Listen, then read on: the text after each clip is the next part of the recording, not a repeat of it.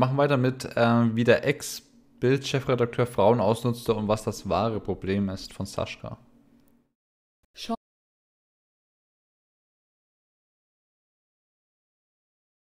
Short Hair Don't Care.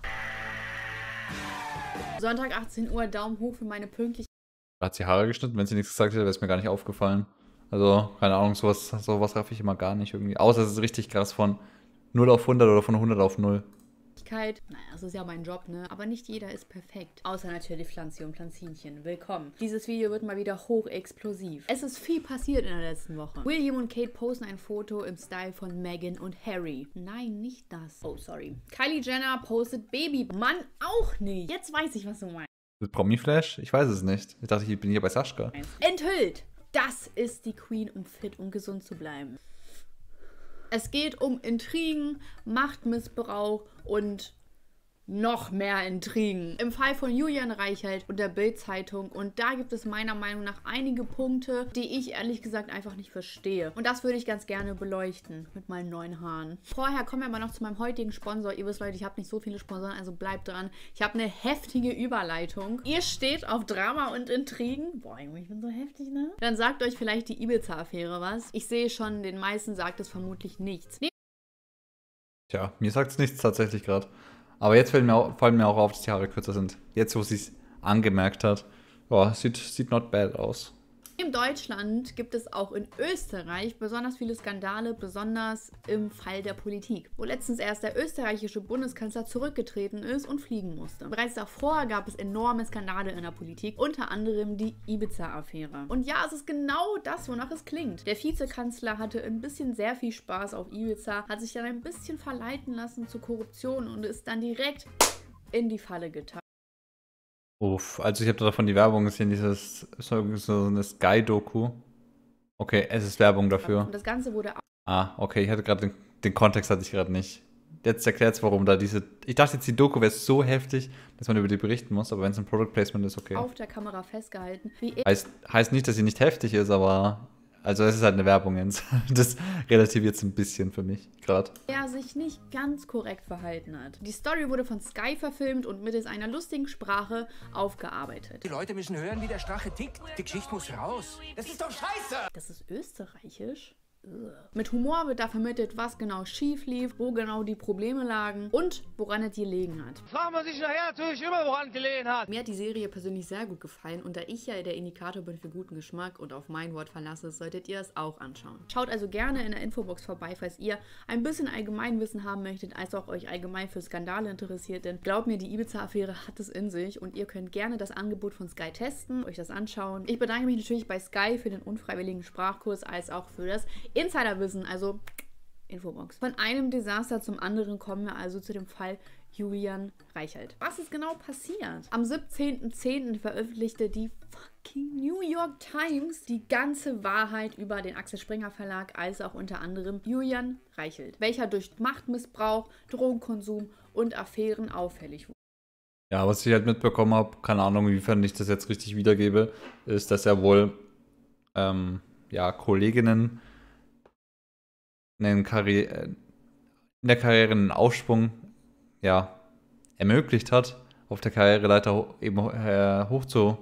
Okay, mein Deutsch ist komplett RIP, sorry.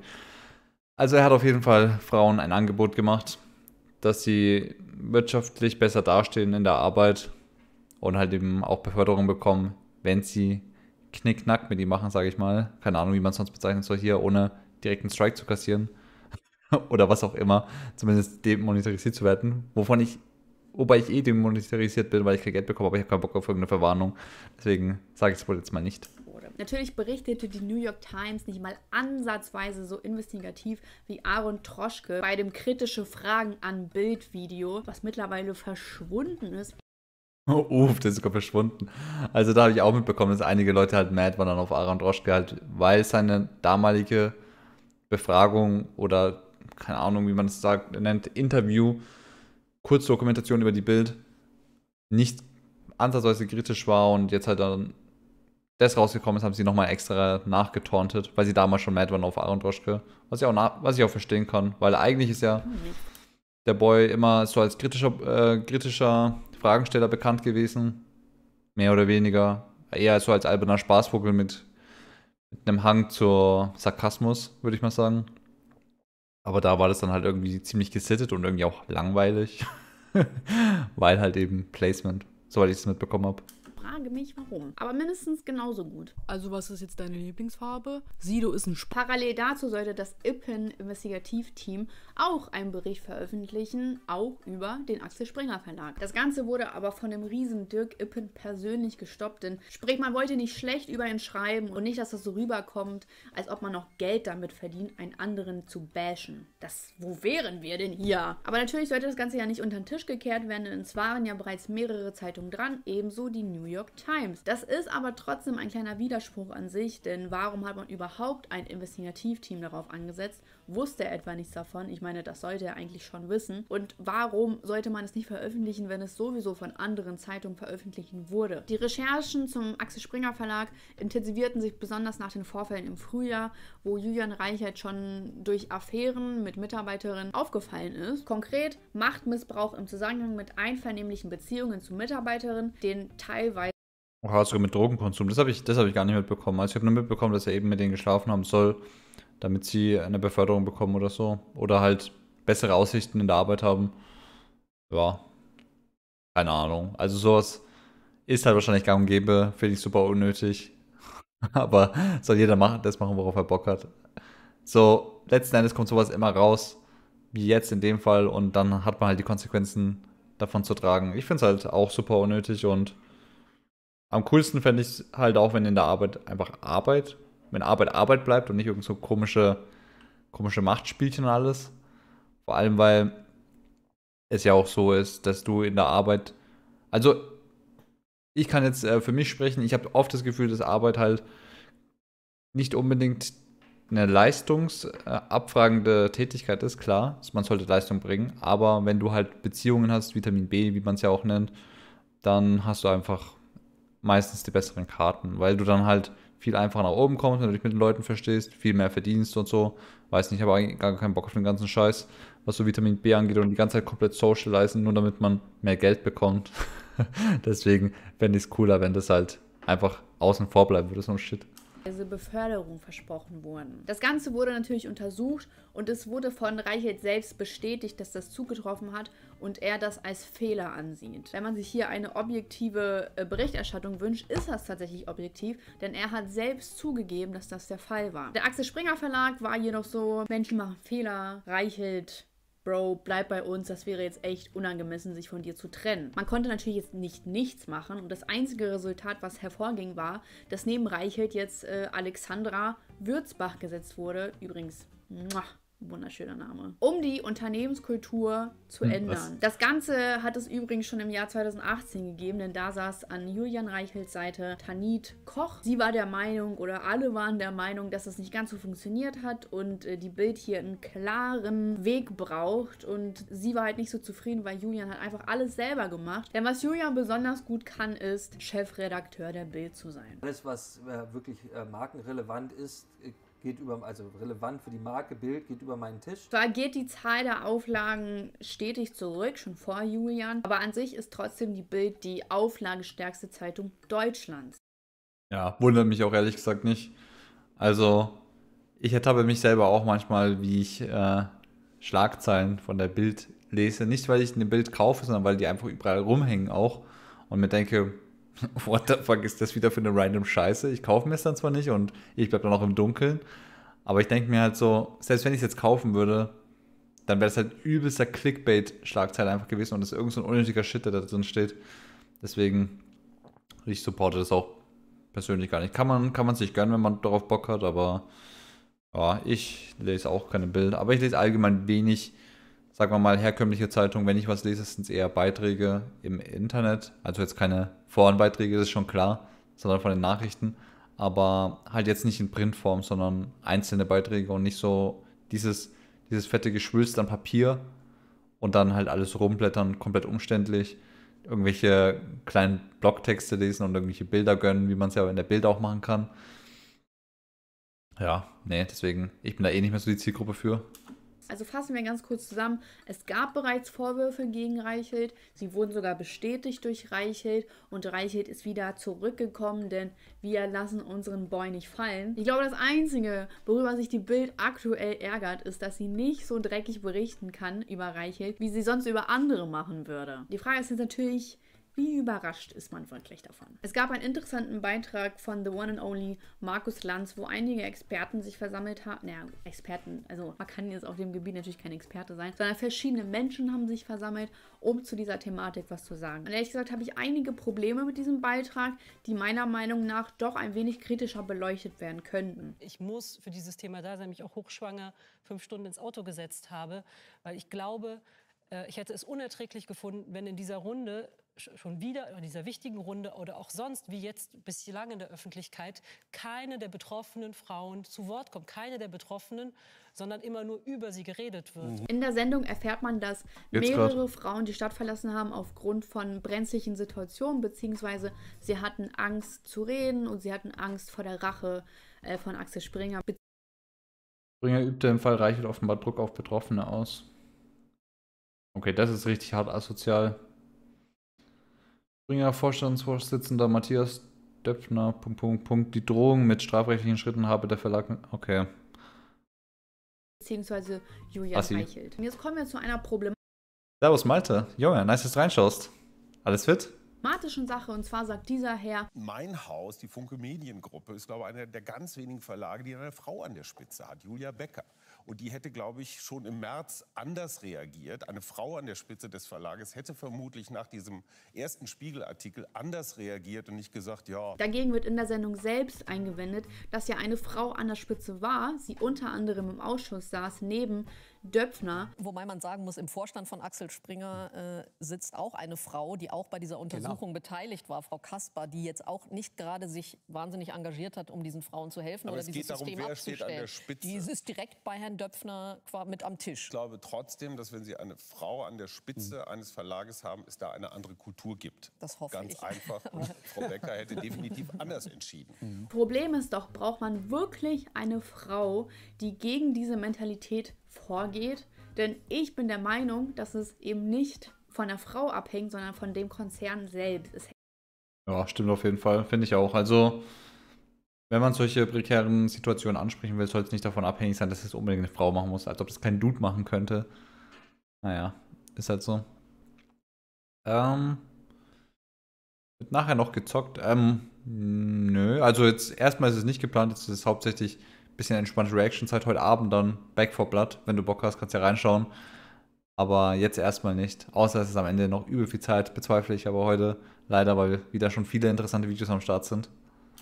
Hängt von dem Verlag ab. Dieser Verlag lebt von komischen Geschichten, von seltsamen Schlagzeilen, von Krach. Da zu sagen, okay, aber wenn jetzt eine Frau bei Axel Springer gewesen wäre, dann wäre es doch bestimmt anders gelaufen. Und ich frage mich, wie man auf diese Theorie kommt. Denn bei Axel Springer geht es auch um viel Geld. Und diese Zeitung ist nun mal darauf ausgerichtet, viel Geld zu verdienen. Sonst wären die Schlagzeilen nicht so polarisierend. Also wenn wir jetzt einfach nur den Punkt ändern, dass eine Frau an der Spitze gewesen wäre und das im März ganz anders abgelaufen wäre, finde ich doch ein bisschen weit aus dem Fenster gelehnt, die Aussage. Aber das ist natürlich auch nur meine Meinung. Die nächste problematische Stelle finde ich hier. Also ihr könnt mir gerne, gerne einen Kommentar dazu schreiben, aber es wäre schön, wenn man sich das vielleicht erst zu Ende anhört, meinen Gedankengang zu Ende anhört und dann seine Meinung dazu sagt. Aber von vornherein ist Zuhören immer das Wichtigste. Also, dass Julian Reichelt äh, sexuelle Beziehungen gehabt hat mit Frauen, die in einem ganz krassen Machtgefälle zu ihm standen und wo sich berufliches und privates so vermischt hat, dass die Frauen große Probleme hatten, mit diesem Machtgefälle umzugehen, unter Druck waren und da auch drunter gelitten haben.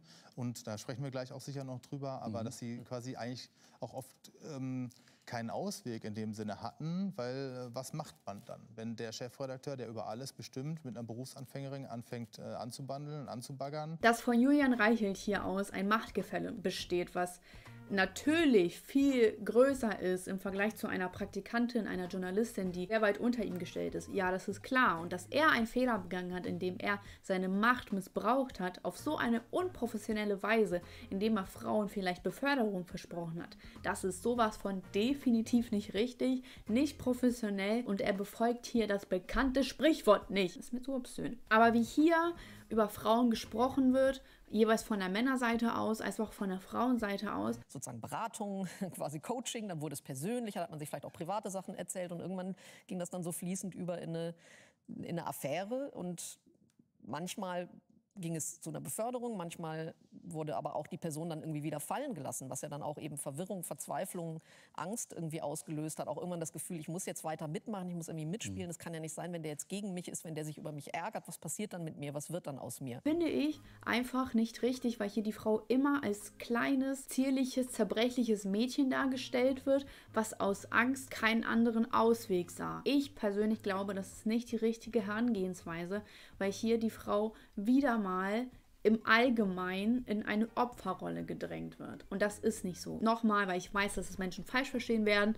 Ich sage nicht in irgendeiner Weise, dass Frauen selbst schuld an diesem Dilemma sind. Ich sage nicht, dass ich Opfer damit nicht ernst nehme, sondern es geht um die Opferrolle der Frauen, die auch hier systematisch fortgeschritten wird, als ob Frauen immer verzweifelt sind, immer unter Druck sind und sich nicht gegen sowas wehren können. Nein, nein, das war, das war nie ein Thema, aber übrigens auch nicht in anderen Medienhäusern. Also ich hatte, ich habe das mehrfach erlebt, dass niemand meine Texte angeguckt hat. Und wie gesagt, man hat sich auch dabei, dabei gedacht. Ne? Und man hat ja auch irgendwie äh, ein, ein, Thema oder eine Richtung, in die man gehen möchte. Aber das, das hat da so gar nicht stattgefunden. Frau Rosal. Also, ja, also ist jetzt natürlich alles ein bisschen deeper. Muss ich jetzt versuchen, erstmal hier die richtigen Worte dafür zu finden. Also, es ist folgendermaßen. Ich glaube, bei, bei dieser Diskussion war das halt alles jetzt schon ein bisschen festgefahren, eben auf diese konkrete Situation, weswegen dann auch in dieser Situation davon gesprochen wurde, dass die Frauen eben nicht wussten, was sie tun sollen, so in der Art. Ich glaube jetzt nicht, dass es wirklich mit Absicht war. Ist jetzt natürlich auch nicht förderlich, dass es halt dann trotzdem so kommuniziert wurde, dass halt die Frauen diejenigen sind, die äh, da in dieser, in dieser Opferrolle stecken. Aber ist, ich, ich, es ist wahrscheinlich unwahrscheinlicher, aber andersrum kann es, denke ich, genauso sein. Eben, deswegen sollte man das vielleicht ein bisschen neutraler ausdrücken. Aber ich finde, egal ob jetzt Frau oder Mann, also wenn man, wenn man sich auf so eine Situation einlässt und dann, sagen wir mal, verzweifelt ist, dann, dann wusste man es entweder nicht besser oder man ist einfach dumm. Also man, man braucht sich nicht auf sowas einlassen, wirklich. Also Außer du tryhardest halt unbedingt darauf, dass du eine Beförderung bekommst und dann kannst du halt rumheulen, wenn du keine bekommst, aber da müssten die Risiken halt schon vorher bekannt sein. Da, da braucht man nicht sich irgendeine Illusion hergeben und sagen, ja, keine Ahnung, jetzt schlafe ich mal mit dem und dann auf geht's nach oben. Also im Kern ist der Mensch ein Egoist. Und wenn da halt ein Assi da ist, der dir irgendwas verspricht und das dann halt nicht einhält, dann ist es halt so. Ja, keine Ahnung, ist halt, ist halt ein ganz schwieriges Thema, so für sich ich weiß auch nicht, ob ich da wirklich so viel äh, Konstruktives zu beitragen kann. Weil ich finde dann diese ganze, diese ganze, dieses ganze Mindset einfach übelst cringeig, dass man meint, man muss mit irgendwelchen Leuten in der Arbeit schlafen, weil man irgendwie dann davon einen Vorteil hat oder weil man, also entweder weil man halt seine Macht ausnutzen will, super cringe und unnötig, oder wenn man denkt, man kriegt da dadurch irgendwelche Vorteile, eine Beförderung, eine Gehaltserhöhung, genauso super cringe und unnötig. Also die Leute, die, die sich in diesen shittigen Situationen befinden, sind. Also ich, das ist meine Meinung, finde ich ein bisschen irgendwie auch selber schuld halt, ne? Also ist halt einfach nur übelst unnötiges Verhalten. Und wenn man sich auf sowas einlässt, dann muss man halt auch mit den Konsequenzen rechnen irgendwo. Es erzählt an dieser Stelle, dass sie mit Sicherheit nur ihren damaligen Job bei Axel Springer als auch anderen Medienhäusern bekommen hat aufgrund von ihrem Aussehen. Welche anderen Medienhäuser das sind, konnte ich jetzt nicht raushören. Vielleicht hat sie das in irgendeinem Buch beschrieben, aber ich gehe jetzt einfach mal primär auf den Axel Springer Verlag ein. Dass die Bild vielleicht nicht deine Artikel interessieren, ja, das hätte ich tatsächlich von vornherein sagen können. Denn wie gesagt, die Bild sticht nicht hervor durch mitreißende und gut geschriebene Artikel.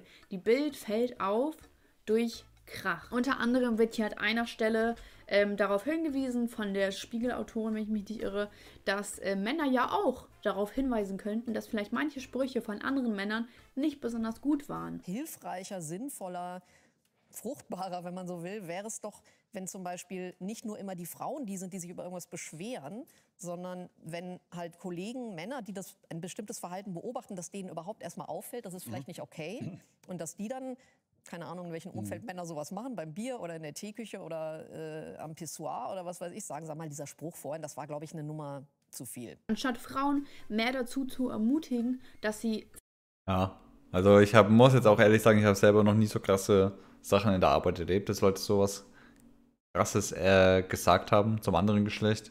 Deswegen kann ich da nicht so krass relaten, aber ich denke schon, dass man da was sagen sollte, wenn man merkt, es geht halt hart unter die Gürtellinie oder auch, wenn es halt schon anzüglich ist, da auch unterschwellig, kann man da auf jeden Fall was sagen. Ich glaube, das ist insgesamt unangenehm, wenn man auf der Arbeit mit sowas konfrontiert wird. Vor allem, wenn man einfach nur arbeiten will und seinen Shit machen will, um sein Geld zu verdienen. Viel eher für sich einstehen, viel eher was sagen und vor allem in der Situation was sagen. Die Leute kriegen es teilweise nicht hin, Menschen auf der Straße zu helfen, Menschen in der U-Bahn zu helfen. Und dann erwartet man, dass Leute am Arbeitsplatz sich für andere Leute einsetzen, obwohl sie das nicht mal in Notsituationen hinkriegen. Ich meine, das ist ein bisschen optimistisch. Ja, ich sehe es ja auch eher als opt äh, utopisch, optimistisch, weil es ist halt auch so, wenn das jetzt wirklich einer in deiner Arbeit ist und du halt eng mit ihm zusammenarbeitest, meinetwegen auch gut befreundet bist oder halt auch nicht unbedingt gut befreundet bist, sondern einfach, du jeden Tag mit ihm zusammenarbeiten äh, musst, dann ist die Hemmschwelle wahrscheinlich ganz woanders, weil du dir das so denkst. Also wenn es jetzt nicht hart unter die Gütelinie geht, sondern wenn es so ein bisschen unterschwellig ist, dann denkt man sich wahrscheinlich, boah, kein Bock jetzt auf den, mit dem da zu diskutieren und da muss ich jeden Tag mit dem da zusammenarbeiten und mir jetzt einen Scheiß anhören, dass er irgendwie das nicht korrekt fand oder dass er dann halt irgendwie auch richtig angepisst ist. Also ich glaube, viele Leute machen sich dann einfach bequem und sitzen es dann einfach aus und denken sich, ja, scheiß drauf, ist mir egal, so eine Art. Solange ich nicht abgefuckt werde, ist es mir relativ Wayne. Ist ja auch, wie sie schon sagt, das ist auch ähm, Zivilcourage allgemein jetzt ja auch nicht so ist, dass da jeder direkt in die Bresche springt, wenn jemandem was passiert.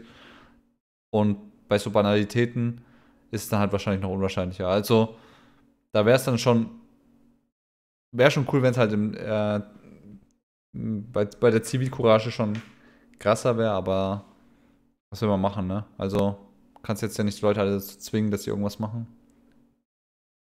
Wäre natürlich optimal oder auf jeden Fall besser, als es halt jetzt ist, ne?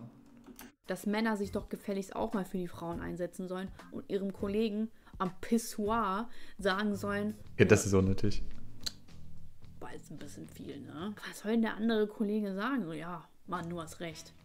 Penisklatscher. Kann man denn Änderungen erwarten, wenn man Frau Junge, Rosales hört? stopp. War das Ganze schon vor zehn Jahren so? Und ich frage mich, ob das in zehn Jahren vielleicht auch wieder so ist. Denn ehrlich gesagt weiß ich nicht, welche Konsequenz man daraus zieht. Ja, es gab Vorwürfe im Frühjahr und okay, es war nicht so schlimm, ne, kann man ein Auge zudrücken. Aufgrund von Druck durch die Öffentlichkeit wurde er jetzt doch entlassen. Und die Kollegen trauern ihm nach. Okay, können sie. Vor allem, ich habe gesehen, da haben irgendwelche Leute noch hinterher geheult, dass er, dass er gehen musste. das fand ich auch schon unangenehm. Vor allem, weil er ja eigentlich so kritisch, äh, weil er ja so kritisch im Rampenlicht steht. Servus Arthur. nice, dass du reinschaust mit den Joker. Joker-Emotes.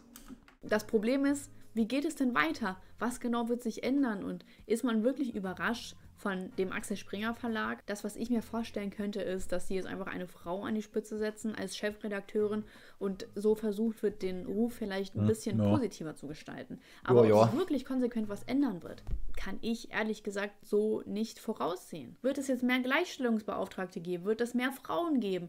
Was passiert jetzt genau? Probleme durch ein Machtgefälle gibt es meiner Meinung nach auch auf YouTube. Ich habe bereits schon in der Vergangenheit aufgezeigt, dass es hier nun mal zum Beispiel einen YouTuber gibt, der durch sexistische und sexuelle Inhalte besonders auffällt, der junge Frauen oder auch ältere Frauen für einen sexualisierten Kontext nutzt. Ja, und das interessiert halt niemanden, weil Sex sells und es funktioniert halt auch einfach. Und alles geht einfach seinen gewohnten Gang. Was ich persönlich auch sehr kritisch sehe, ist einfach, wie viel Macht hat der Axel Springer Verlag, hat ein Dirk Ippen, dass er wirklich eine ganze Investigativrecherche stoppen kann mit irgendwelchen Begründungen, die nicht mal Sinn gemacht haben. Und ist Julian Reichelt nicht vielleicht eher der Sündenbock, nicht vielleicht eher ein kleiner Fisch? Denn die großen Männer sind die hier. Man sollte doch eher mehr noch die Hintergrundkulissen betrachten und vielleicht den auch ein bisschen näher beleuchten. Aber vielleicht ist das ja eine neue Serie für Sky oder so. Ich weiß es nicht. Bis dahin könnt ihr auf Sky die Also ich glaube halt, dass es jetzt nicht nur ein allgemeines Problem ist vom Bildverlag, sondern es ist in jeglichem, in jeglicher größerer Firma ist es wahrscheinlich einfach so, viel, wahrscheinlich sogar auch in kleineren Firmen, dass es da zu solchen Sachen kommen kann. Und es sind halt wahrscheinlich, also ich gehe davon aus, es sind ziemlich viele Leute, die da halt so komisch unterwegs sind und meinen, sie müssen ja sowas deichseln wenn sie mit jemandem eine Beziehung eingehen, dem eine Beförderung zu bescheren oder dass sich jemand darauf einlässt, eben um befördert zu werden. Also, das ist jetzt halt ein Extremfall gewesen, weil es halt der Chefredakteur von der Bild war, aber es gibt bestimmt auch genügend anderen Firmen und auch genügend Menschen, die das halt machen, einfach, ne? Ich meine, bei Blizzard war es jetzt ja auch schon so, da ist es auch wieder so ein Extremfall gewesen. Aber das gibt es ja auch bestimmt auf mittlerer Management-Ebene zu Genüge. Da ist es halt bloß nicht so prominent, beziehungsweise wird halt wahrscheinlich eher drüber gelacht halt in den entsprechenden Kreisen, als dass es dann halt kritisiert wird. Naja, kleiner Rant. Das finde ich halt ein bisschen sad. Also ich finde es cool, wenn man auf der Arbeit mit Kollegen cool ist und halt auch so in der Freizeit hin und wieder mal vielleicht ein bisschen was machen kann. Aber wenn es auf so krass persönliche Ebene geht, halt Beziehungen auch und irgendwie so, boah, ja, ich mache für dich irgendwie so eine, ich mache für dich irgendwie eine Chefpostenstelle klar. Es muss ja nicht mal sein, dass es, dass du mit jemandem eine Affäre hast und ihm dann eine Stelle klar machst. Ich finde es ja auch schon cringe, wenn du deine Frau irgendwie in die Firma holst, die irgendwie, weil, weil und du bist halt so der krasse Chef und dann sagst du, ja, ich mache jetzt krasse Stelle als Sekretärin klar. Mit übel Gehalt, kommst gerade in die Firma rein, todesrich ist halt einfach, finde ich, cringe und unnötig. Und das ist das, was mich ein bisschen sad macht, dass halt Arbeit nicht immer professionell ist, sondern halt auch oft solche emotionalen Faktoren mit drin hat. Und auch vor allem Vitamin B. Also deswegen gibt es ja ein eigenes Wort auch dafür, weil es, ist einfach gang und gäbe und ich finde es einfach super unnötig. Ibiza-Affäre anschauen, denn das Video ist hiermit vorbei und ich hoffe natürlich, dass es euch gefallen hat und falls ihr nicht genug kriegt von Intrigen und Skandalen, ab in die Infobox. Gerne könnt ihr dem Video einen Daumen nach oben geben, eure Meinung schreiben und was ihr von der ganzen Sache haltet. Ob ihr denkt, dass es irgendwelche Konsequenzen geben wird, langfristig gesehen und ob sich wirklich etwas ändern wird oder es doch nicht vielleicht eher beim Alten bleibt. Und ja, war auf jeden Fall ein richtig cooles Video von Sascha. Könnt ihr gerne kostenlos äh, abonnieren. Könnt mich gerne kostenlos abonnieren, wenn ihr Bock habt.